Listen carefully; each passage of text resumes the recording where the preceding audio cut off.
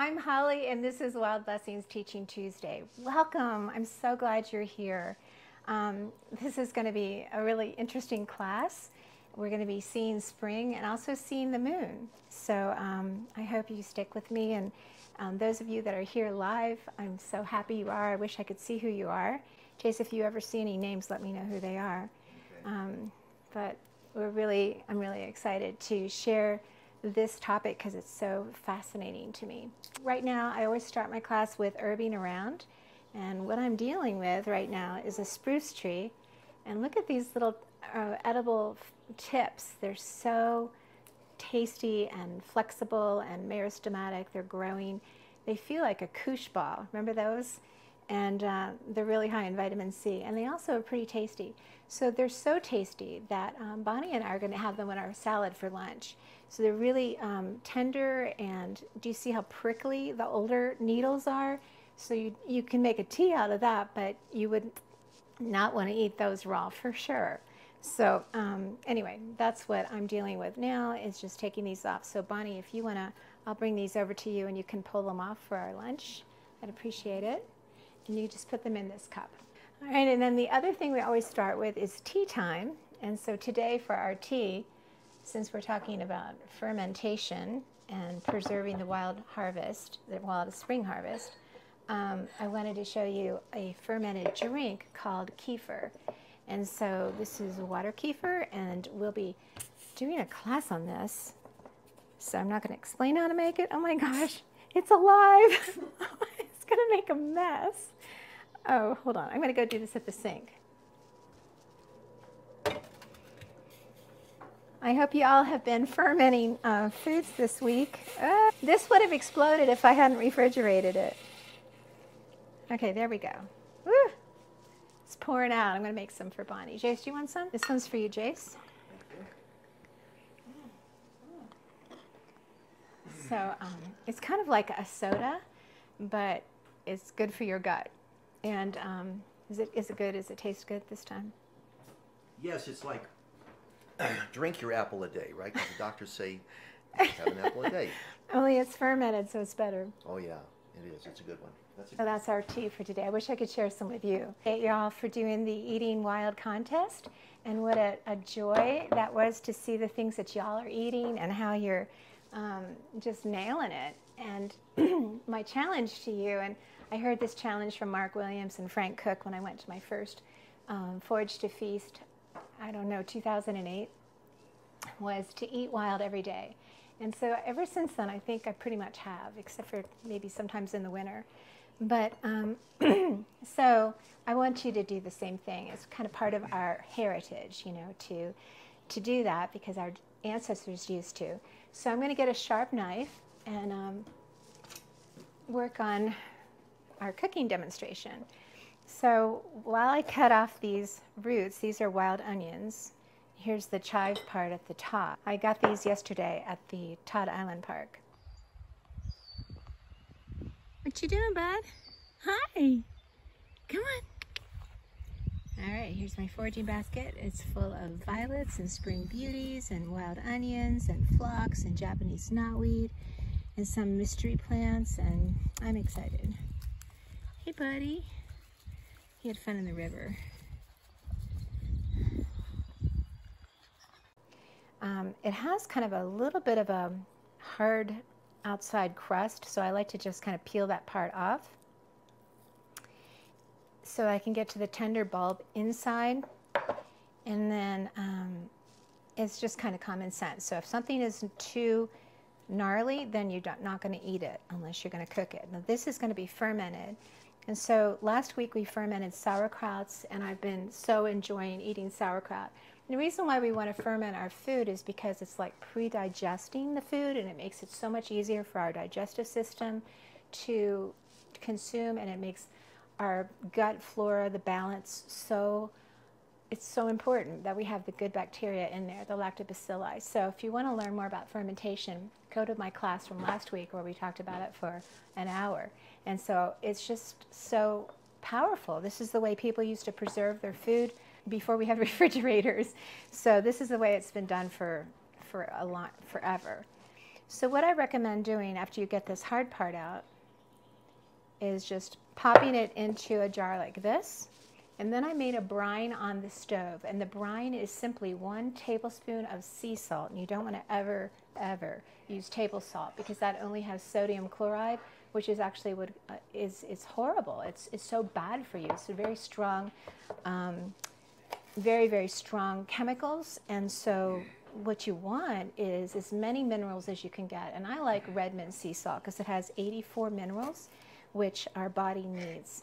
So I'm not going to do these while you're all sitting here watching me because we have a lot to talk about today, but I wanted to show you how you just get rid of the root, root hairs and you want to get rid of this outside um, crusty part to get to the tender inside.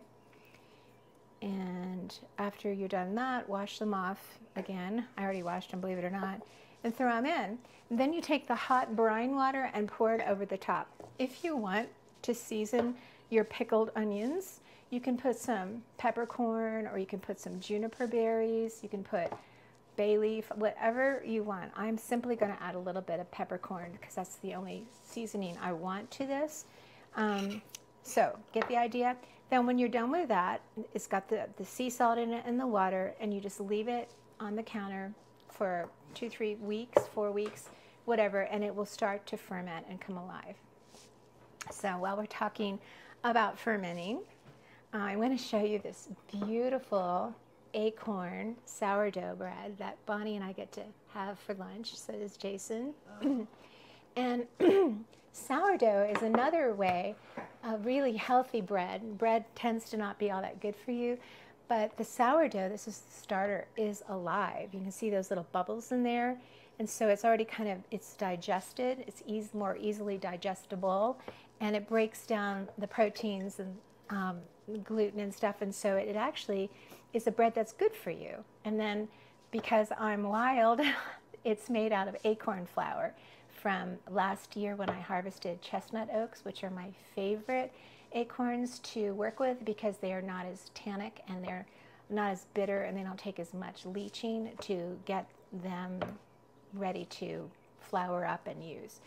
So um, we'll talk about acorns in the fall, but I just wanted to show you that because I had a freezer full of acorns, I still do, um, you can make flour out of that anytime and then make an amazing bread or use it for nut butters or whatever nut brittles that you want with, uh, with the acorns. So this is um, fermented and then we have the sauerkrauts that we were making and today we're making pickles. So I'll just show you some other pickles that I've been working with is uh, cattail pickles. And we'll be making those when we teach about cattail and we'll do a whole hour befriending cattail because that is such an amazing gift. It's called the supermarket of the swamp. And here's purslane pickles and we'll be making those in July. This is all from last year. And those, this is all we have left because we love them so much. And those are high in omega 3s, which is crazy awesome. And these are my favorite. These are the milkweed pickles. And these shoots are coming up soon to a pasture or a field near you. Hopefully you've been putting milkweed seeds on your property because you want to eat that plant in every stage, pretty much. All right, the early shoots make delicious pickles. so I think I made this one into a bread and butter pickle because Jason prefers that over dill pickle. But this year I'm going to be making dill pickles because I like that too. I'll make both. Yeah, yeah, thank you. Yeah, I will. And of course, I'm making, um, still working on the apple cider vinegar created from just apples.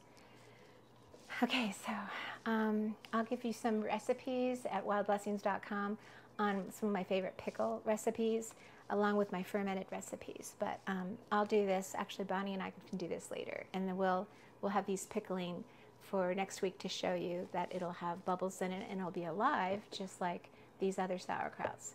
Thank you for sharing all the things that you've been cooking and eating that are wild. I have been so blown away. Cindy, I wish you could come over and make those dandelion dumplings with me because that just looked crazy awesome. Um, wow, I was amazed. Um, the Wentz, they got morel mushrooms, which I'm so jealous. Um, so if anyone gets any morels this season, they're out now, so you should be looking for them. I want you all to get one. I'm always looking, but I never seem to find them. But they're so delicious. So it was exciting to see that you all shared a breakfast with morels and branch lettuce and violets, scones, and oh my word, I it was you're going to awesome. show a picture of that later, aren't you? I will. So I just wanted to just thank you all for participating. Um, so I don't know about you all, but we've been eating wild every day, and it just makes me feel so alive and so excited. Every single day we have a Japanese knotweed smoothie, and as long as chocolate is in it, Jason doesn't care what I put in. True. True. Okay. Share some things with you that are on my counter. Um, uh, red buds are still out for the knowing and the picking. And I think it's fascinating that these are flowers that come out before their leaves. And if you've noticed, the leaves are just starting to come out and they're shaped exactly like a heart. So these make really delicious jelly and they make a really good tea. And Pamela actually is taking apple flowers and redbud flowers and she's drying them to use them for winter tea. So it's kind of like bringing the spring into the winter months. Um, I I'm excited about this. I just found them this morning. These are edible, even though this is a poisonous plant. So we're going to probably do a whole hour on poke because this is what kept the the South alive during the Civil War was this plant. So even though it can be poisonous, it's also amazingly delicious. And the early leaves are like velvety asparagus. I mean, I have I still have some in my freezer. They are so so good. And the stalks, these early stalks are also edible, but I've been too afraid to ever try them. So I think Jason and I will try them for dinner tonight, and I'll let you know if we live. Oh, thanks. But they're if they're as good as the leaves, the early leaves. Um, all right, so let me just make a caveat. Don't eat poke, please. Wait till I teach you on it, and then you can eat it because there's there's some serious caveats to it. God is in the details. All right, remember we talked about shoots last week and how oops, how edible and yummy um, hosta shoots are. So when they're all rolled up like this and really tight and they're kind of firm, they make really delicious, almost like an asparagus type of a texture.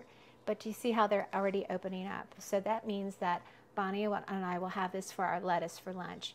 There's a reason why the deer eat hostas.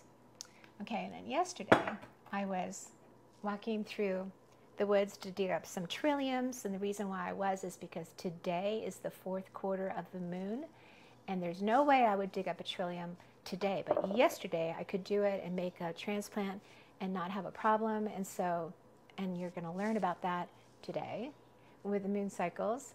Um, so, but while I was at it, I saw all this greenbrier. It's that stuff called blasphemy vine. The reason why it's called blasphemy vine is because it just it grows up the trees and it chokes out all the other growth and it's just got thorns on it and it makes you trip and it's got these horrible rhizomes. It's edible though. So if you can't beat it, eat it. And the very tips are super, super, super yummy. So this is going to go in our salad today too. And we'll put some Japanese knotweed in too, just for the heck of it. And then I wanted to share with you that um, I've never told you about the evening primrose root, but it is it's only edible in the beginning of the second year, and we'll talk about that when we talk about biennials. Last thing I'm going to talk about are spring beauties. Um, so these are an ephemeral, a spring ephemeral, and so they're they're kind of gone, but I got to capture these three little tiny tubers. And I was reading how Euell Gibbons had an entire field of these, and usually they're so beautiful that you don't want to dig them up, but they were going to put a garden shed there, and so they, it's like it was going to be dug up anyway. So they ate these every day for two weeks, breakfast, lunch, and dinner, and they're like little potatoes, and they're listening to him reading, I should have it to read to you, what he said about how delicious these are.